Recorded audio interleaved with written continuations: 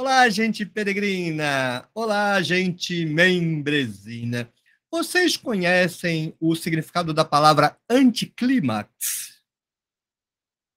O clímax é quando você está no topo, no auge, de qualquer sentimento, atitude, emoção, estado, circunstância. Então, você está lá no alto. No minuto bíblico anterior, eu avaliei a nova Bíblia de Jerusalém, depois de ter analisado a Bíblia de Jerusalém. Aí, a Bíblia de Jerusalém, a tradução toda errada, a nota ótima. E aí eu fiquei chateado. Bíblia de Jerusalém traduzindo errado é triste.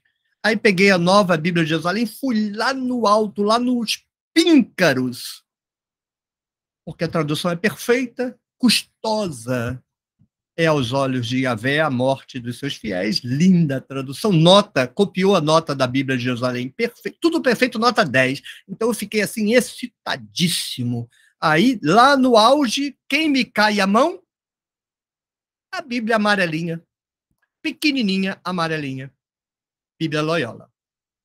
Já fiquei meio aborrecido porque eles não informam aqui a diferença dos versos, né? Ele botou aqui Salmo 115 barra 116, ou seja, é o 116, mas a numeração está do 115, não está do 116. Se você vai na Ave Maria, ela fez a adequação, porque ela sabe que protestante vai pegar, vai se achar.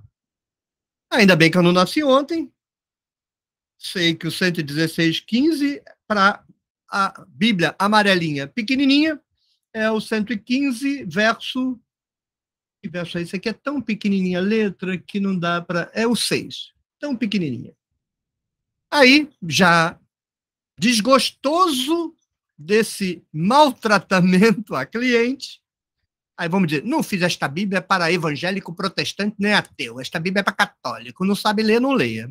Ou seja, perderia um cliente, mas aí é só coisa de velho turrão porque eu já me chamo de velho por conta do cabelo branco. 57 nos ombros e branco na cabeça. Velho. E aí vou ficando turrão. O bom de ser velho é que você tem direito de ser turrão. Já boa. Eu já estava lá no alto, já. O galho já curvou. Falei, eu vou cair daqui. O galho está curvando, vou me esborrachar lá embaixo. Mas a tradução vai ser boa, o galho vai voltar a levantar. É o Viagra, né? O galho está baixando, aí você vê uma tradução boa, o galo já volta. Olha a porqueira que eu sou obrigado a ler.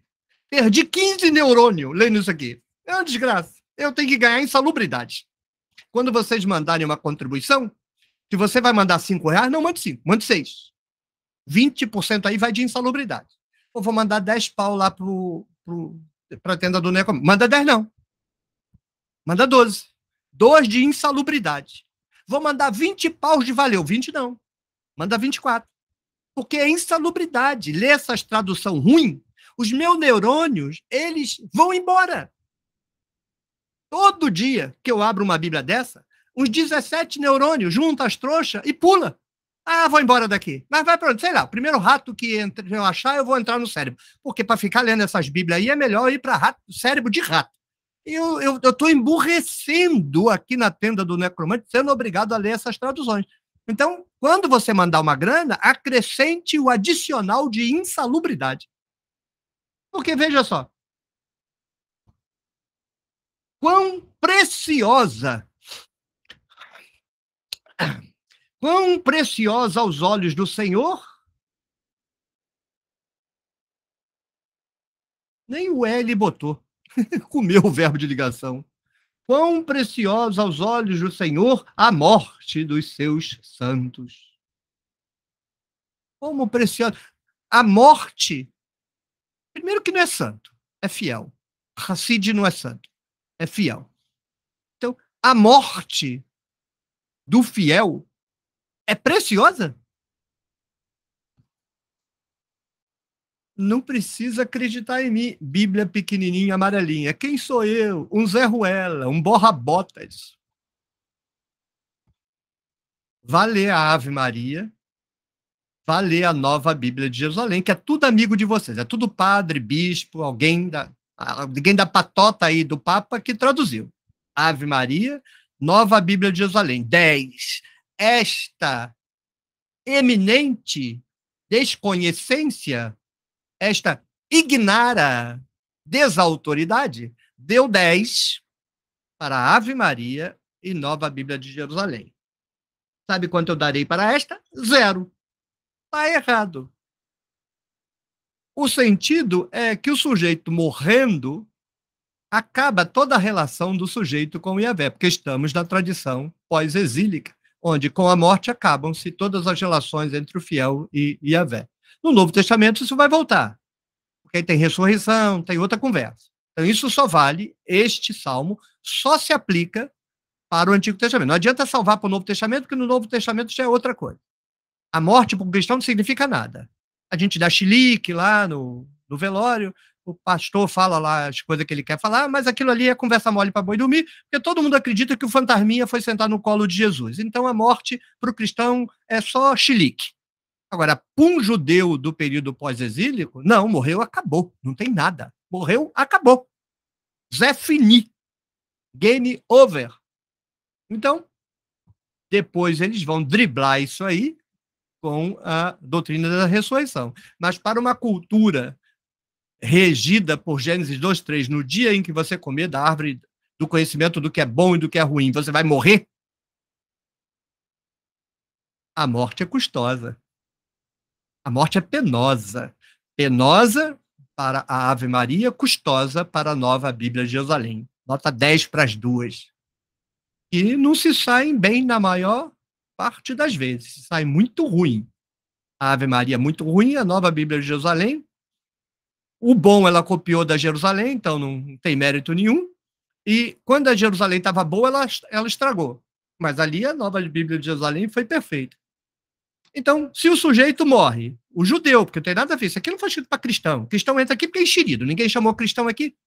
É para judeu. O judeu morre. Acabou a relação com Yahvé, como diz Eclesiastes. Né? Para onde você vai, não tem obra, não tem pensamento, não tem nada, acabou, morreu.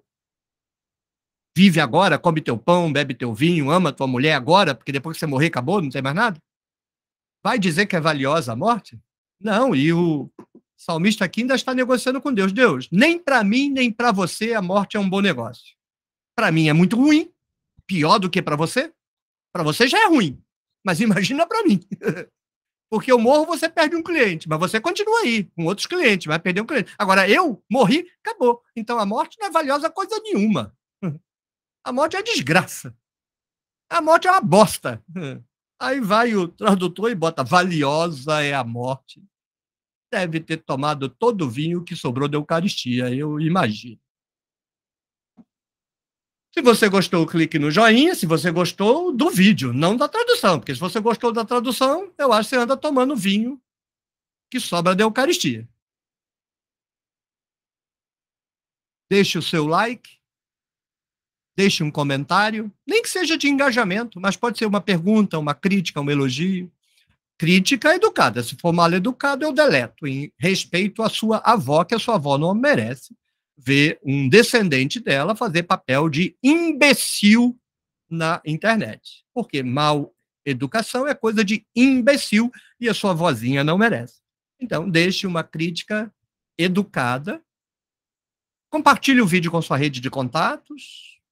E os comentários da tenda são tão maduros e educados que você pode compartilhar, inclusive com a sua vozinha, sem susto, a sua avó não ficará escandalizada, porque as vozinhas não podem entrar nos comentários da internet. Aquilo ali é terra de ninguém.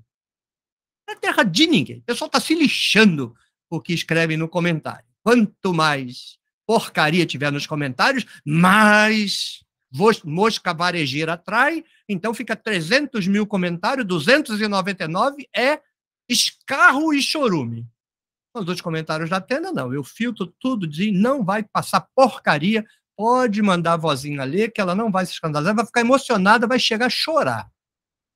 Torne-se membro do clube de membros da tenda do Necromante.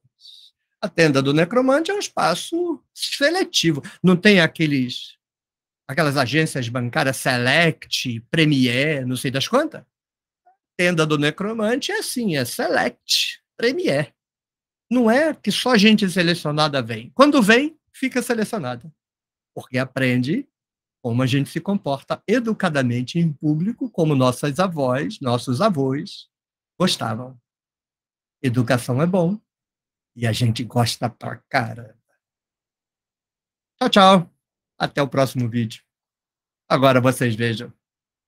Preciosa é a morte. Aos olhos do Satanás deve ser, né?